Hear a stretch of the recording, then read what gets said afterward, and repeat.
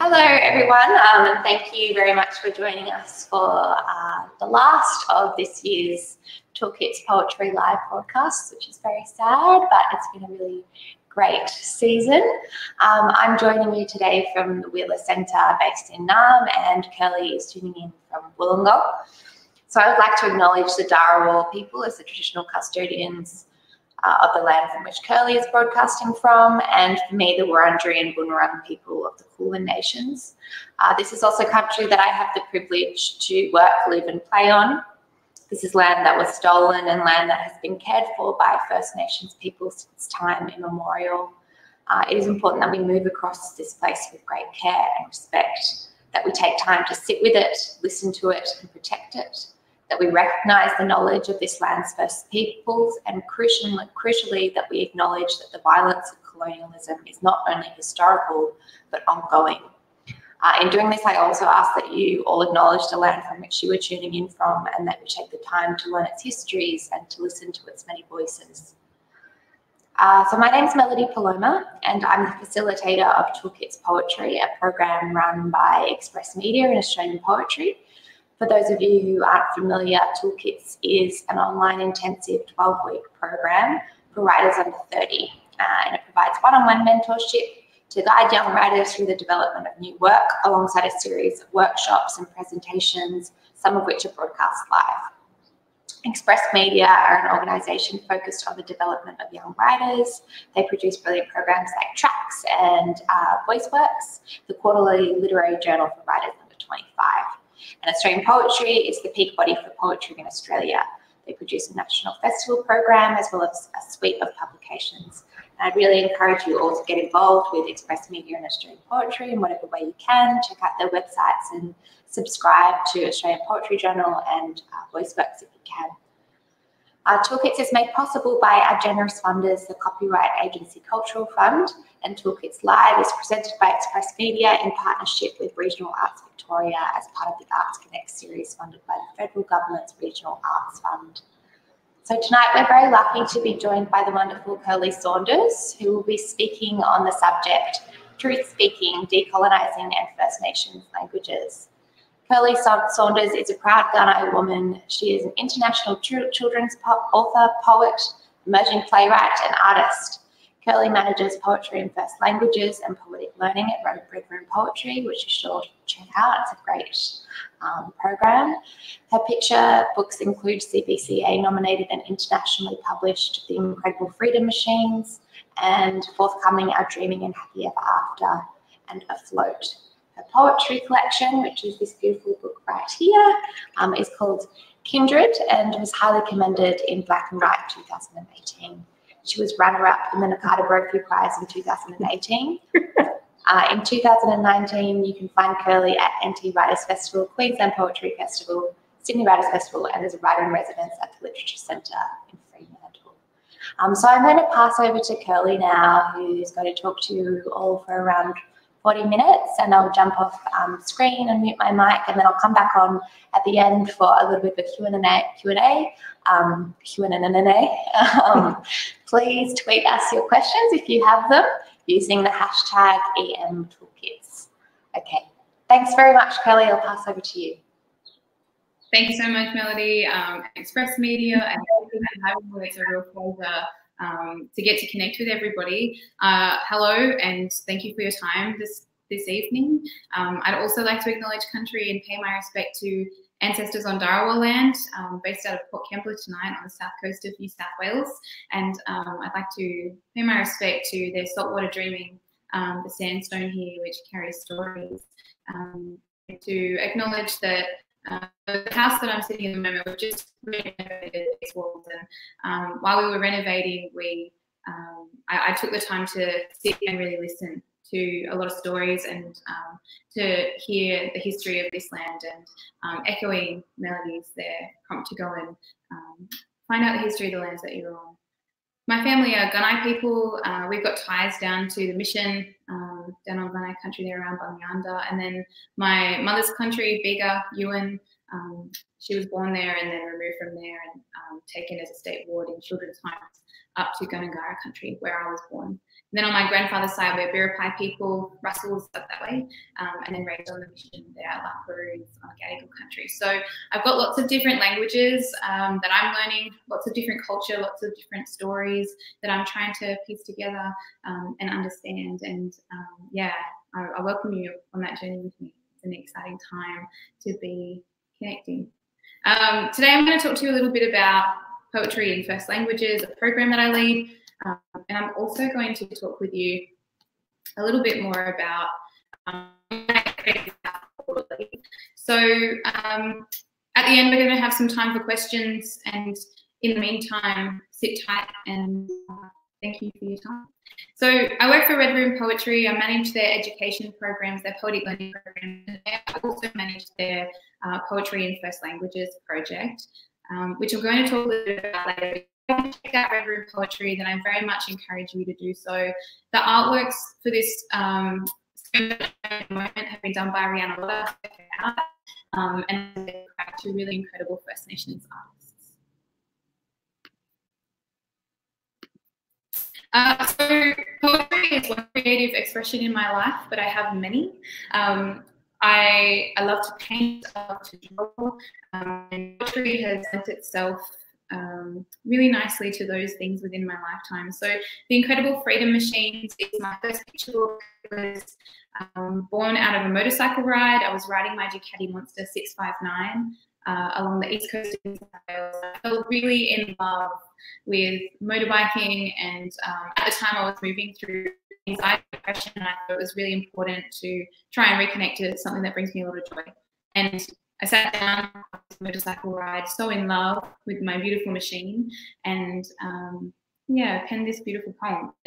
Uh, with that, I approached who's a really incredible illustrator, and um, yeah, and and then he he went on to illustrate the book. So from that, um, I think we can all learn that if we have a passion to write, if we have a dream to write, um, then reaching out, connecting with other really incredible writers is a really great way to develop your skill set, to make some powerful connections that can lead to publishing. And um, if you have any questions about that process, please reach out. Uh, a lot of my poems have since been stretched into other picture books, so you'll get to hear, um, well, you can find out more on my website. Um, Kirli Saunders. If you if you Google my WordPress, it'll pop up, and uh, there's lots of detail there about the different stories that I'm sharing through poetry and that how they've been turned into picture books. I also publish work on Medium, so they're another blog um, program platform, and there's a few outlines there for how you can take your your publishing in the in the direction if, if of um, being published with a, a broader publishing country uh, company if that's something you're interested in.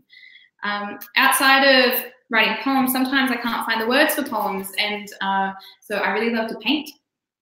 Um, and lately, I've been sitting with bigger canvases and starting to explore.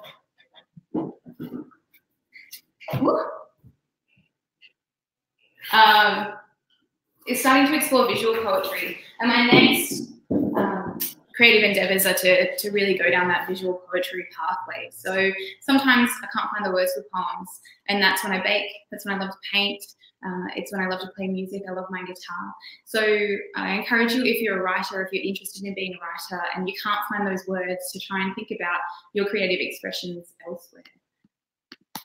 Just going to bring that slide back up and keep talking to that for a moment. So some of my poems have been published in uh, large-scale public arts collaborations with Red Room Poetry in the Royal Botanical Gardens. So if you're down in Melbourne, please go check out um, the poetic installation in the information centre there. On the bottom left, you can see um, poems that have been published with aquaphilic paint if you move around Adelaide. And uh, it's super exciting. One thing that well, one thing that lots of publishing houses are doing really well now is taking poetry, taking writing, and um, amplifying that in really exciting, visible ways to bring poetry into um, and to connect people to poetry in a really meaningful way. And, um, yeah, I'm loving seeing those outcomes. The Incredible Freedom is published in Russia, Turkey, Western Armenia, um, Canada as well as English now. And another iteration of it is a performance with the Western Australian Symphony Orchestra, so you can see the score in the centre down there. Um, and we, I, I travelled around WA, Perth, and Fremantle earlier in the year, um, and over to Cocos Island and Christmas Island to tour this work. And it's a composition created by Matt Ottley, um, and he is yeah, really incredible. Um, he's a really incredible team of musicians that he works with with Western Australian Symphony Orchestra. So there's an animation at the same time as um, the music playing, and I'm over the top. I wanted to bring uh, share a little offering before I move into poetry and first languages. Um, this collection, Kindred, has been written over probably about six years. The poetry collection is broken into three parts. Um, so the first part being mother, second part earth child, and the third part lover. Um, mother is all about reconnecting to country, and to culture, uh, and understanding the disconnection and inter intergenerational traumas in my family. And the healing of those um, is evident in Earth Child. And then that final section is Lover. Um, tonight is the University of Canberra Poetry Prize is being um, announced, and um, one of my poems I would have loved to share there. So I wanted to share that poem with you first, and then I'll read some poems from Kindred. This poem is for our grannies. Um, it's called Black Cars, and there's a Gundungurra partial translation in this collection, um, in this poem, and it's been supported by Auntie Trish Levitt and Auntie Velma Mulcahy up around the Southern Highlands there. Nya Gamiri, the Burringilling of you, stand by the door frame, next to ashen bucket filled with white soot, the dust on fingertips and apron, signs of the blessing smooth over faces to ward off black cars. They will not see you today. Now sense the Tuluan bank on phantom toes like breadcrumbs, guides to map you back to the places that Gujaga were hidden. These remnants as offering to deter black cars. They will not find you today. Nyangamiri, your outline, guak over shoulder before issuing card table lessons, a curriculum in Gamawang Piala for Gujaga underfoot. This ritual of salt eyes over shoulders, a spell to impede black cars. They will not take you today. Now witness your shadows peel back the corners of drapes and sleep with one eye open, the door always ajar. These ancient omens to eradicate black cars. You are safe. Now, Nyagamiri, your presence in careful mothers, your voice in Duipiala sons, your Burringilling lives in Biri that will march against a government that once issued the collection of Hujagar in black cars. Always a step ahead.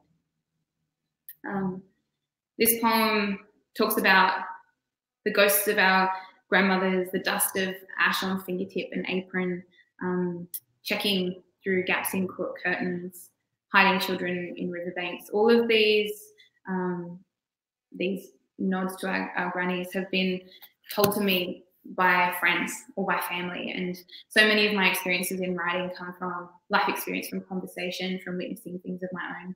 And um, this poem particularly is important um, because my grandma was one of my favorite, one of the favorite people um, for my mom. And when she was removed, she said she really missed her grandmother. Um, and our grannies have done such a job, such a good job of keeping kids safe from being taken. Those black cards are very government cards. Um, so I think sharing stories like this through poetry, that decolonial um, push in our writing is really important. And um, a lot of kindred has been has been that. So the next poem I'm going to read for you was born on the banks of the Shoalhaven River. I could hear the sounds of ancestors singing and I wanted to know what they were saying. And I called Auntie Trish and said, Aunt, I can hear voices. I think I'm going crazy. And uh, she said, no, girls, definitely not going crazy. What are they saying? And I said, well, I'm not really sure because it's all in language. And she said, well, that's what they're saying. It's time to go and learn language. So um, I wrote this poem and then she helped me translate it in language. And from there, we developed poetry in first languages. So uh, this poem, Disconnection, in some way is a catalyst. And I'm excited to share it with you. Hujaga, Nyangamiri Nyaini Mundu, empty spaces for Gamawang words to fill, and stretch your guri for the Piala and their voices. Nyaga Miri, your trembling limbs ache to shake in Tangara, and hear your lungs as they gasp Yungomba. Nya feel your body, sans Buringiling, Yabun, and secret, and know that it has been grown with roots wrenched from the Da'auri that cradled them. And Nya taste the hunger Nya Miri do, to know the parts of yourself, to feel Yoang when your dewy has been taken. Little one, I see you mouth empty spaces for a mother's words to fill and stretch your ears for the stories and their voices. I watch your trembling limbs ache to shake in dance and hear your lungs as they gasp with songs unknown. I feel your body, sans spirit, ceremony, and secret, and know that it has been grown with roots wrenched from the earth that cradled you. And I taste the hunger you do to know the parts of yourself, to feel at home when your dreaming has been taken. Um, I'm going to read a few more poems from Kindred, and then I'm going to talk to you a little bit about Poetry in First Languages, the project that developed from that experience. Because I'm on Dharawal country, I'd love to share this one. Um, this is my apologies.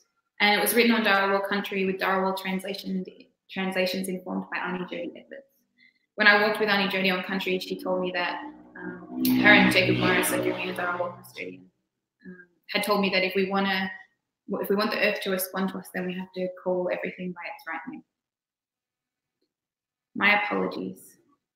I scoop you up in my hands and hold you tenderly with tear stained cheeks as I recite a monologue of apology on behalf of anyone that has ever branded you with a name that isn't yours, that has ever called you earth, sand, sun, sea, salt water, escarpment, fish, moon, bird, tree. Here you are Nuru, Widjud Widjud, Wuri, Garu, Halanjane, Marigon, Mara, Jajun, Wujam, Gundu. I also want to read another poem about Dharawal country. This one was penned um, up around Campbelltown and around Appin. There's been a, a, great big massacre, as, as there has on so many of our lands, and it's really picturesque country. It's super beautiful. This gorge where we were sitting near this site, and if you didn't know the history, you'd be so caught up in the beauty of it. So I, I wrote a poem to bring people back to the history of the land, the truth of the land that we sometimes miss when we're getting caught up in uh, the glamour of our landscape. Dharawal country. Bark like hanging noose, gumnut widowmaker, water enough to drown in. There is trauma here. Wasp nest with spider skeleton, ants like homicide crime scene cleaners, windows barred, new trees, old scars. There is trauma here. Wilderness fenced, cicada brooches pinned to rough flesh, bloody sap leaks secrets. There is trauma here. Ashen limbs ache to heal, shattered sky threatens to fall. Time in place of eucalypt. There is trauma here. I'm going to read one more poem the last section of this collection is uh, Kindred is all about um, community and ties to community and um, people who have brought us healing or taught me along my way, along my journey. One of those people is a dear friend of mine, Naomi, who's a really beautiful Gomeroi singer, songwriter, um, and teacher. And when I sat down to write this poem, Naomi just moved from Sydney to Melbourne, and I was thinking about how landscape holds memory not just in the sense of the history of the place, but also memories of people. So this poem is This City Misses You. And Noms, I hope you're listening. You are a yellow bike needing glib pathways, the block in tree pose, and the ukulele hands cradling an old fashioned at the Everly. The spots of a dress that belly laugh down Spice Alley, smooth single O on York, and stories from Foe bubbling at the galleries. You are Newtown green tea poured for dumplings. Late nights at the Enmore and Hordern, and a 1950s cover, anytime, anywhere. Um, so I'm going to run you through poetry in first languages now, which is a project, it's been a really great learning curve in how to celebrate First Nations cultures, First Nations languages um, through poetry and to celebrate and share and preserve those cultural um, pieces, yeah, with elders and custodians on country. So if you want to check out more, jump on the Red Room Poetry website, check out poetry in first languages, um, and you'll be able to see a little bit more about the breadth of this program. Delivered in 35 workshops. So we commissioned, there's sort of three, three arms to the program. Um, just going to bring you back. So there's sort of three three arms to the program. The first is that we commission First Nations poets to go out on country and to sit with their elders and custodians and to learn language. And um, that is a really wholesome grounding experience having done that one myself. And that's i guess the origin of the program for me was to find ways to support other poets to learn language in the way that i wanted to. My mum as i mentioned was raised off country as a state ward in children's homes and so we weren't raised with language. We weren't raised um, with explicit teaching around culture and country. And um, i always felt a longing for language and for the words to be able to describe myself or um, to communicate with the land and um, with community. So that's that first element. And a lot of the poems for poetry in first languages have been published online and will continue to be published on the Red Room Poetry website. So if you have any questions, jump on the Red Room Poetry website, shoot me a message that way, um, and check out Poets While You're There. The poetry library is really useful. And uh, yeah, go go listen to um, go see Ethan Bell's work, go see Nicole Smede's work, check out Jeanine Leane. Um, so many powerful, powerful poets, Paul Collis, Nick uh, Payton. Yeah, really, really beautiful, beautiful stories, um, all, all recorded So that's one element. I guess the second element is to see our poets paired with custodians and elders on country to work with students in community. And so they'll go into workshops, and in most instances, we try and partner with some kind of environmental organisation like the Department of Planning, Environment and Industry. Um, and hello, Simon and Lorraine, if you're listening. Um, they do really wonderful things in language and land conservation. And three projects that we've been working with them, or we will work with them on, are the Glossy Black Cockatoo. Um, protection and, and, conservation strategy, and then the strategy for the ICOLL, the waterways down around Wallaga, on Yuin country there, and also the shorebirds on Jerrint country. So these projects will bring students together for one cultural community day where they get to meet with other elders and custodians, learn about um, bush medicine, bush tucker, fire, uh, contemporary care for country, traditional care for country, and all of those practices, dance, art, um, cultural artifacts, so tools. Um, then they'll also get to learn language. And in the days that follow, we'll go out to schools or have students back at that same community space and we'll have them sitting with their elders and custodians and with poets to write songs and poetry. And then from there, we go on to publish those poems in really beautiful ways. So we publish them on bus backs and trains and um, oh, I'm so sorry, I haven't, I haven't included the photo. I will, if you jump on the Red Room Poetry website, you will find it. Um, yeah, so bus backs, trains, uh, Kit Cups. We celebrate through our Poetic Moments program at Red Room Poetry. We celebrate all of those amplifications of students' works in really interesting ways. So um, it's it's really wholesome to see kids learn their first language words and then to take those words and speak them and record them as poetry that we can publish online, but then to be able to share them in their own community at local community events, NAIDOC events, and things like that. Um, it goes full circle. And that does a lot in the way of being able to connect kids to their elders in the community, but also to be able to bring non-First Nations people into language learning in a really meaningful way. Um, other parts of my advocacy have been around, I'm just going to share my screen again. Sorry to keep doing this back and forth uh, working with with other women, doing really powerful things with other women. This photo was taken on International Women's Day at a, a, powerhouse panel with so many incredible people in my local community. The Incredible Freedom Machines follows the story of a young girl. The entire, the entire story. The reason being that we would love for her to represent um, just one one girl in community who comes from, well, many, many girls who come from uh, lower socioeconomic or status, status and places, or poverty. Um, and at the end of the story, we see that if you haven't read it, this girl is reading her book, um, and her book has been her way of overcoming poverty.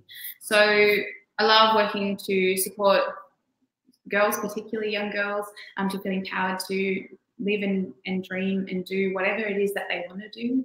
Um, and also all, all, genders, particularly, but particularly girls, have been um, sort of my main focus in, in schools, being able to help young people to know their personal power.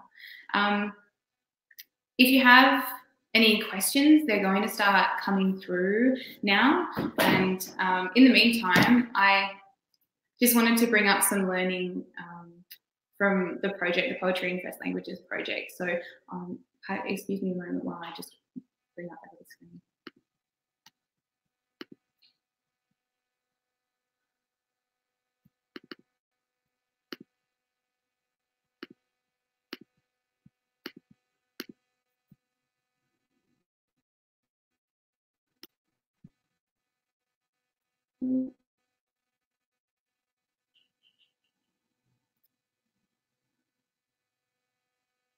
Sorry, it's just taking.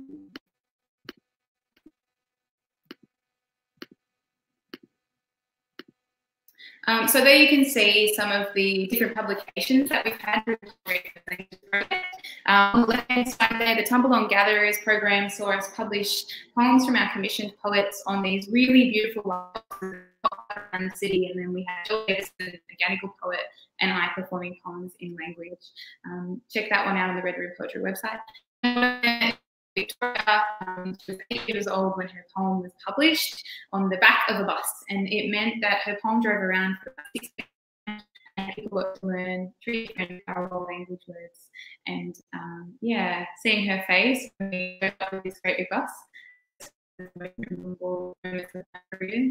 up the top on the right hand side there, you can see another of our students, one of our NASCA kids. So we partner with the National Chance um, Association. I de definitely recommend you check them out. And um, here, a student is, has her poem going through the water with an artist, Alan Geddes' interpretation through flow. Um, this one was done in the Royal Botanical Gardens. So she has to stick to her ears, she could hear the sound flowing, flowing through the water and those publication outcomes, yeah, go, you know, reach thousand then finds its way into the ears of many, many people. But also it means that students get to have a really cool publishing outcome. Here's some from this year's um, Black Cockatoo, the Gadigal Conservation Project on Gundungurra country, where we partnered with Winter Shire Council and the Department of Planning, Industry and Environment. So as well. And I'll say that Grace to the right there will be one of our emerging poets through the program for next year. And that's one really, one really powerful part of the program in my eyes that lots of our emerging poets get to be mentored supported to develop their own language um, and also to be to sculpt themselves as emerging poets. So this year we've delivered programs on all of, all of these spaces, um, and uh, it's it's been a huge year of languages, partnering with organisations, working with lots of um, and lots of elders and custodians to work with community and to try and support our young people and languages. The impacts of the assessed by the Group, and this year are being assessed by um, or researched by Eleanor Carlis at the University of Technology. We'll be able to, to share those with you soon. But you can see the impacts of that overwhelming majority of participants reported positive experience the program and that for many of them, this was their very, very first access to a language program within schools. So I know that my not being able to access language and poetry as a means to be able to access language and self-express is a really powerful thing. It's exciting to see um, those arts programs being our means for shaping the curriculum in, in new ways. Um, that confidence and deeper is, um, you know, something that I, I, love to see in the program, and I see it often. Our young people leaving the program just feeling a little bit more confident and a bit more proud and our elders and custodians feeling like they're sharing their knowledge with the next generation.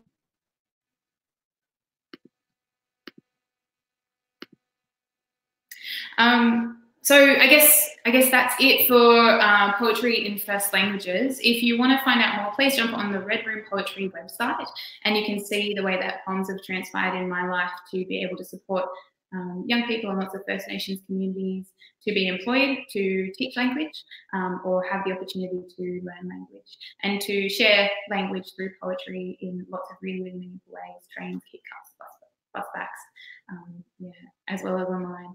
When you're on the Red Room Poetry website, make sure you check out the poems up there as well um, and, and, go read yourself some poetry. Um, and then I suppose outside of Red Room, um, I I spoke a little bit before about my first picture book, The Incredible Freedom Machines. Um, its story of that books are our freedom machines, that they allow us to travel all around the world and stay in one place, um, to meet people we've never met before, to go into the past and the present and the future, and that they unlock all sorts of doors um, and can help us end poverty. So the Freedom Machines has been shortlisted for the Prime Minister's Literary Award. So next Wednesday, I'll be at Parliament House, um, fingers crossed hopefully looking across the big stage, meeting some big important people. Um, and that's the, the very first of, of my books. After there, I guess I, I, was 19 when I started writing seriously and with intention, and every day I would sit down to write. Um, and then beyond that, um, the, the, beyond the freedom machines, it was just that continual process of writing every day. So if you're a, a writer and um, you know you're starting out for the first time, I very much encourage that practice. Writing every day, just showing up, letting the words flow through you, writing your surface um, as a stream of consciousness to figure out where you're up to, and um, and then picking out the little golden bits and flowing with those and following them in directions. And sometimes they'll turn into poems or, or stories or uh, plays, and sometimes they'll be painted into pictures because you won't be able to find the words. Um, the next stories to come out the, in picture books land for me are Our Dreaming, which talks about the Yuin Gundungurra dreaming that was told to me, um, and the dreaming, um, how, how that shapes our, our ways of being and knowing. So I'm really excited to share that one. It's being illustrated by Dub Leffler, um, a really incredible illustrator, First Nations illustrator. If you haven't seen his work, make sure you check him out. Um, Happy Ever After, I can't announce who the illustrators are yet, but I love them. Um, it tells the story of my mom being taken from country and that experience of being told that you, you can't cry and you can't miss your community. And um, when I first showed this to publishers, they said, This was really haunting. Um, are you sure that this is the story you want to share? Um, and I think sharing those stories goes a long way in undoing lots of cultural narratives and the stereotypes that we've been told. I know I was raised in the 90s with a stereotypical history and um, it was very white and I really longed for truth because what I was seeing and what was being told to me were very different things. So I hope that stories like that go into the classroom and begin to, um, yeah, hold a little more truth for our in our history, our nation's history, and to um, share First Nations voices with pride um, and honesty. And I think, yeah, that's that's an exciting, it's an exciting time in publishing. I think we're going a long way back. And then uh, I won the Daisy Utemorrah Award. So with Magabala, I've been working on my verse novel. Um, it's called Mother Speaks, and Grace Lucas Pennington is helping me edit it. Hi, Grace. It's um, it's an exciting it's an exciting project to be working on because verse novels aren't my first choice of uh, novel, but and I've never written a novel. But that process of taking poetry and, and tying together narrative in a more succinct way and being really experimental with it has been really fun so far. So that one will be out in 2021 and you can get your hands on it. Um, I, I guess I wanted to speak mostly to truth speaking with being on here, and I hope I haven't been too rambly. I've had all of these ideas floating around today. Um, and I guess that comes back to the dreaming for me. So when I spoke about the dreaming being those Yuin and Gundungurra dreams that were told to me, um, the dreaming for me hasn't just been um, you know, creation stories. It's been purpose and responsibility to your community and yourself. And I've been told that um, there's there's three parts to it. And the first is to make sure you take care of yourself so you can share with community. The second is to take care of Mother Earth. Um, we're born from her, we return to her. That idea of sustainability and care for the things that can't speak is really integral. Um, and that awareness that there is no hierarchy between plants, and people. We're all on the same level and um, the reincarnation practice of spirits being returned in or all kinds of living things, um, means that we, have, we must care for Mother Earth. And the third part is to share your gift with community. And um, as a writer, when I asked the elders about this, I said, "Oh, I'm a bit stuck. What do I do? You know, I'm, I'm teaching at the moment, but I love writing stories." And they said, "Well, you're the storyteller. Go and tell the stories. Go and teach, and bring young people into your learning that way." And um, I guess my truth speaking then has been writing. And if your truth speaking is, is you writing or you painting or playing music, whatever it is, I really encourage you to pursue that and share your gift with community um, in really meaningful ways. And I think the more that we engage with First Nations communities to do this, and the more that we all pursue that within ourselves, the stronger um, we, we become as a collective people. Um, outside of those practices and, and I guess that's been the last couple of years have been I keep talking about decolonizing I mean removing the identity that's been told to me stereotypically um, or those expectations of what I should be as a First Nations person or um, you know as someone who's colonized and colonizer I'm, both of those things in my family um, and I think writing for me has been that self decolonial practice Nui talks about it recommend you check out his work too. Um, that process of decolonizing, of um, questioning the entire identity that's been told to you and wondering if you agree with that or if you want to rewrite it and what does that look like and how can you bring back First Nations or traditional ways of being and knowing into your life. And when I'm writing every day, I feel like I'm doing that. When I'm connecting with elders and custodians and community to share language and culture with kids, I feel like I'm doing that. And um, I urge you to find ways to support your local community to do the same thing. Um, on an organisation and arts level, uh, I think we're decolonising widely too, and, and, truth speaking in the way that, especially at Red Room, we um, when I when I came on board, we updated our RAP. We got a reconciliation action plan. We developed a First Nations cultural advisory board. We're pushing to get First Nations representation on our board. Um, we have a First Nations editor, an incredible one, Jeanine Leane, a really wonderful Wiradjuri writer.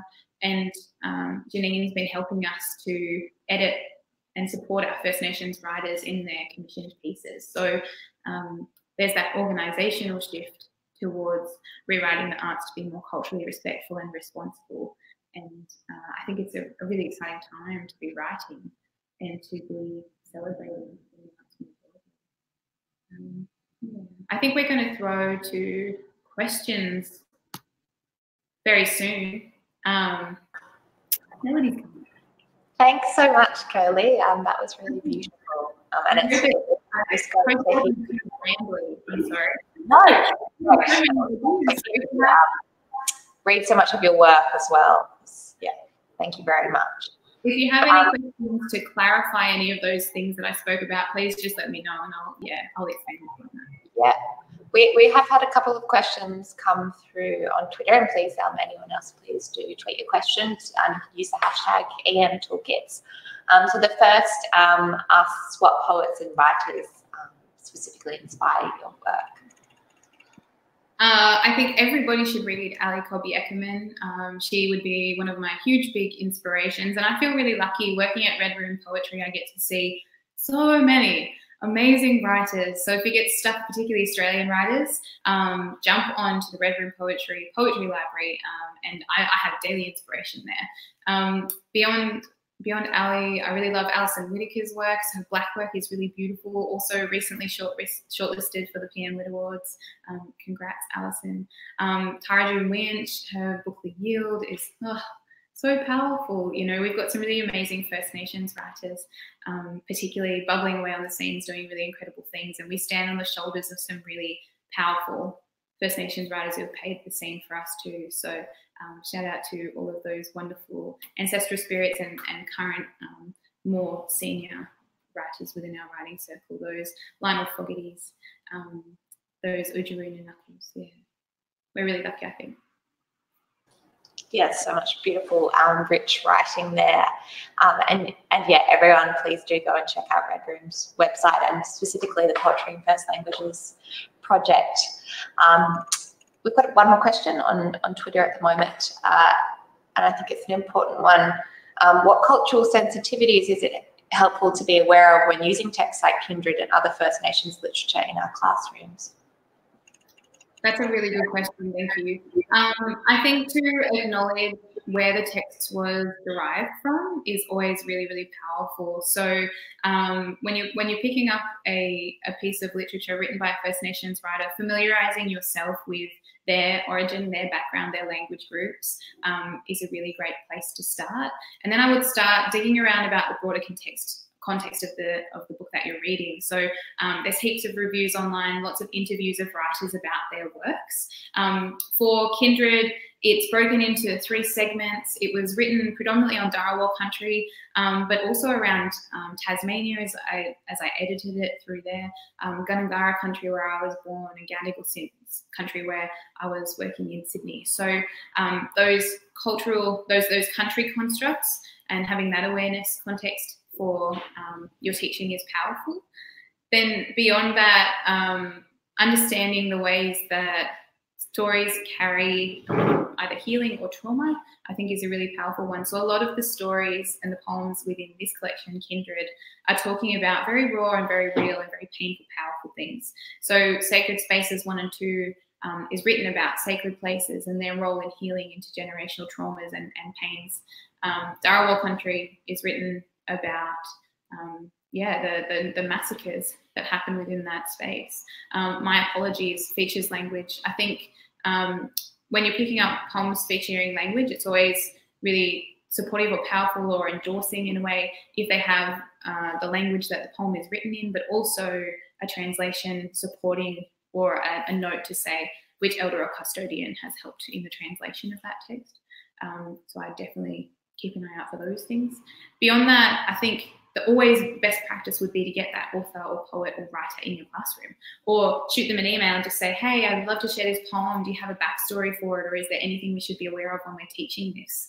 Um, and I think always coming to sharing those texts in a place that's safe for those texts to be shared. So starting off with an acknowledgement of country, starting off with, um, you know, a welcome or whatever is appropriate and just saying, hey, the things that we're going to speak about today are true and real and have happened. And um, if you, you know, those safer spaces, if you need to self care, please do so. If you need to reach out to me afterwards, let me know. If you want to ask questions, please do so respectfully. There's some really great pointers um, for teaching texts, at least. Thanks, Kirli. Yeah, I think it's really important um, that we'll keep in mind that, you know, learning institutions have historically and often still haven't been safe safe spaces for um, uh, First Nations people. Um, so I've just got one more question on Twitter. What advice do you have? Oh, sorry. What advice do you have for stu- for students, teachers, and school leaders who want to go about decolonizing our school curriculum? Oh, where do you begin? Um, well, I guess the first thing I would start with doing would be to understand the cultural and historical, political, um, and land um, history that you're for the for the land and the space that you're in, um, and that context is really helpful then in understanding what needs to be acknowledged. Because I think one of the first stages for for decolonizing in education space is being really honest about the things that have happened on our landscape and um, yeah go go and dig deep, read some books, have conversations with local historians, talk to your local elders and custodians if appropriate and if that feels safe. Um, once you have a bit of an understanding of context, I'd recommend reaching out to your local community with the offering of, we would love to work with you on this. Um, are you available, interested? You know, and is that something you'd like to be a part of? And the reason I say with the offering is because um, it can feel sometimes, and I, I have this regularly, people will say, oh, hey, can you tell me the answer to this thing? I'm like, oh, the assumption that you have that I know culturally the answer to that, um, it, it, forgets that my family were raised as state wards in children's homes or were raised on missions and that language or culture or that learning hasn't been passed down to me. So, um, and, and often there's a lot of pain tied or shame associated with that not knowing or the um, unwillingness to share because we've lost so much. And so I think the offering is a really good way to go about it. Um, beyond that, I would say question everything. Look at all of the structures that are in, in place and ask where did those structures come from? Because lots of our system structures have been um, told to us they're based on imperial systems or colonial systems. Um, our whole school system is that you know um, so i would say that might be a really big one and also get outside um, connecting to the earth. Earth, Mother Earth has always been our teacher. Spending time outside has always been a really powerful place of grounding and reconnecting and listening and learning. And I think that's a, another really important facet. And uh, one other tip would be that deep listening, making sure that we are taking time to hear each other um, and to hear the things that bubble beneath the story on the top um, like like the the sea that looks calm. There's a lots of going underneath the surface there. So making sure that we're listening deeply. Yeah. Thanks, Kirli. Um, I'm wondering. I've heard you speak before um, and write about um, learning languages having a huge impact on well-being and connection to country. Um, but I'm also wondering about how um, being able to speak and write in language has uh, changed your relationship to poetry as well. Yeah, yeah well, I think uh, language is such a lyrical. Uh, First Nations languages such lyrical languages, and they sound melodic and they sound like music. And so writing with them feels like songwriting. It's a really, really special um, really special practice being able to tie language into your work. I also love that it's super collaborative. You know, I'm, I'm, sitting there often and I'll shoot a text or give a call to or sit on country and have a cup of tea with an elder or custodian and I'll say, hey, can you tell me about this thing? Or I want to know the word for this. Can you teach it to me? Or um, can you remind me how to wrap my, my mouth around that word again? Because I'm remembering it. You know, you're helping me to remember. So um, those are really beautiful things. I think beyond that, learning language has given me words to describe myself that I didn't have. And it's allowed me, so my family are, are Gunai people, but I've been raised on Gundungurra country. So raised in New South Wales, family as far back as we know are Gunai people around Victoria. Um, and then with people, family being raised on missions, there's also been um, a disconnect from knowing exactly where we came from before the mission.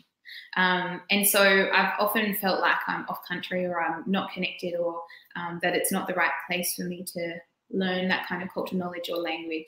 And so learning a language is something we can do anywhere that we go if we take the time to listen and if we take the time to connect.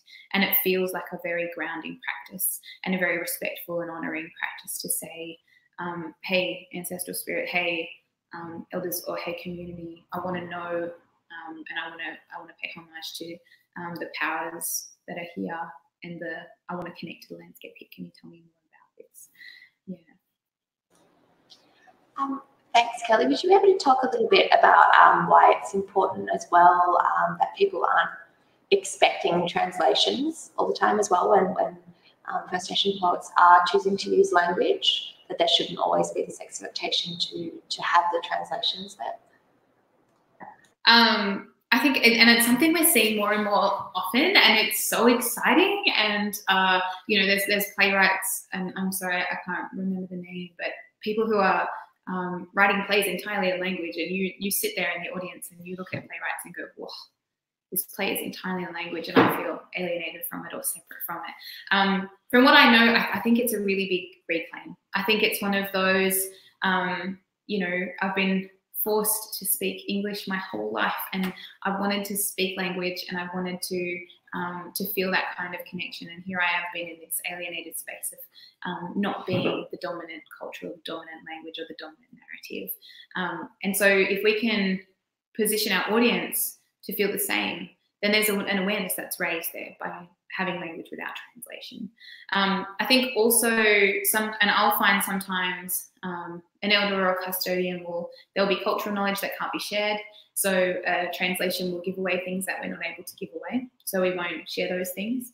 Um, and sometimes there won't be um, direct translation as well. There's there's a lot of complexities between translation more broadly, but um, in First Nations communities, in a lot of ways, it's it's holding on to things and keeping them safe because um, so much has been taken or lost or not cared for in the right way. So it's just it's holding on to things and also um, yeah, allowing for the audience to feel like um, that sense of alienation that we felt so many times.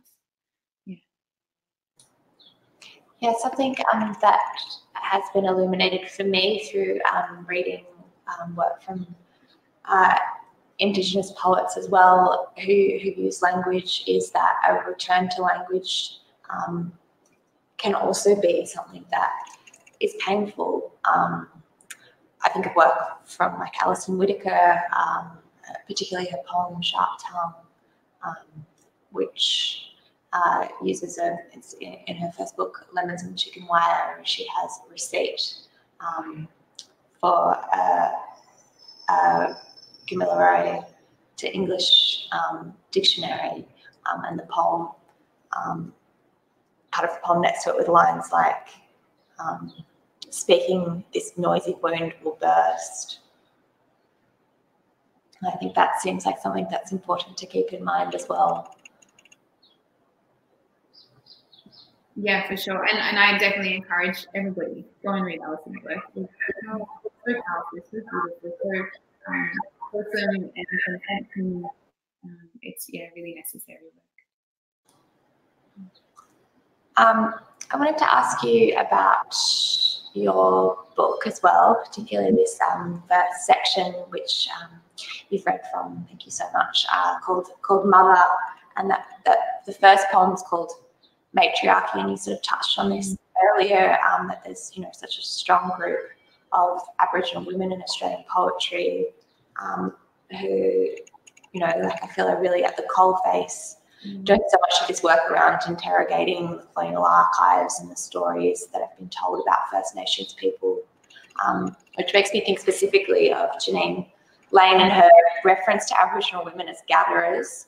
Um, she's got a poem about this in um, Red Rooms project, but um, also a paper called Gathering the Politics of Memory and Contemporary Aboriginal Women's Writing uh, and she talks about Aboriginal women not just being gatherers of physical things, but of memories, that their bodies are a kind of archive where memories are etched, storied, and anchored.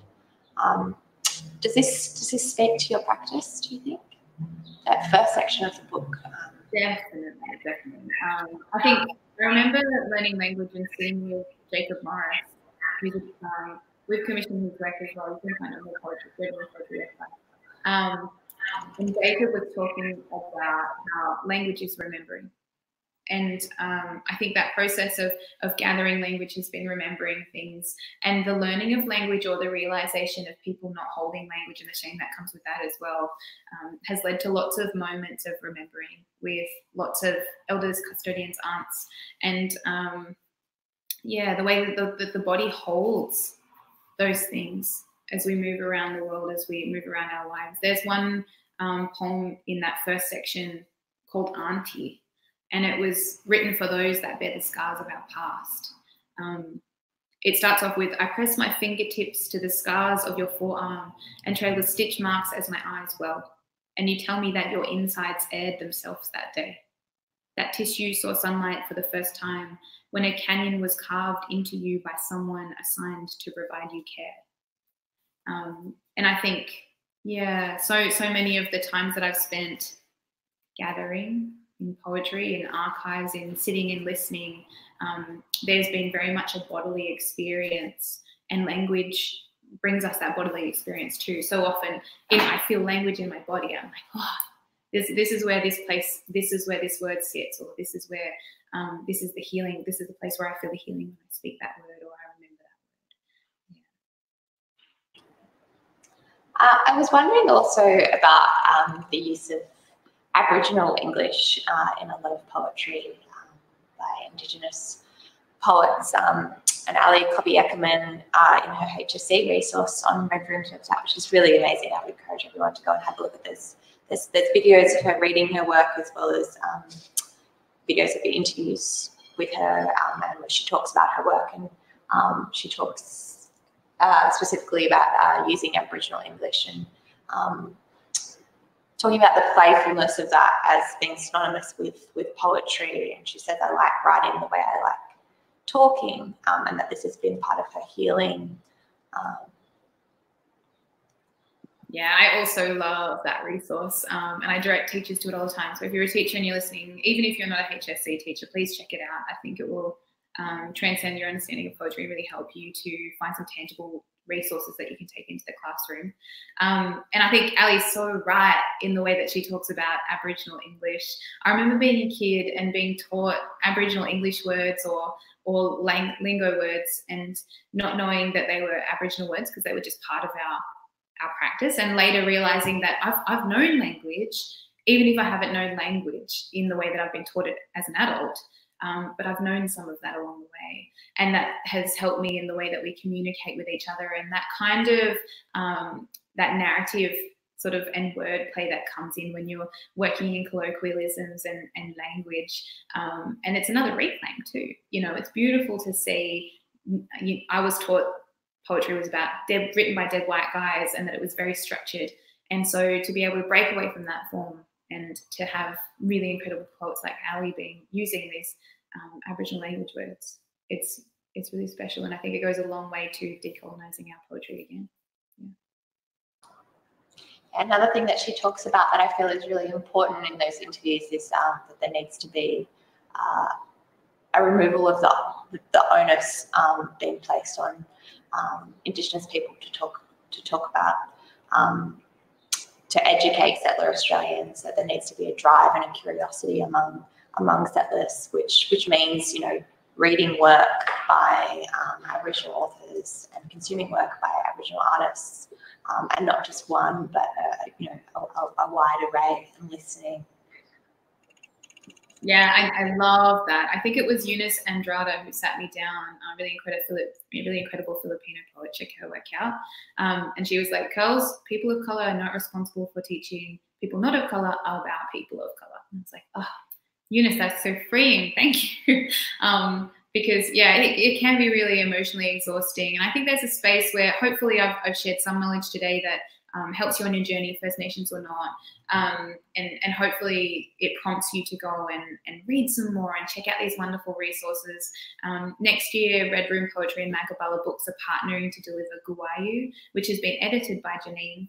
Um, and it's a collection of all of our First Nations poets across the last 10 years. So uh, that will be another really wonderful resource, bringing together all those beautiful poems, song featuring language, all of them First Nation stories and poems. Um, it's going to be really beautiful. Oh, amazing. Um, Jeanine did toolkits with us last year, and um,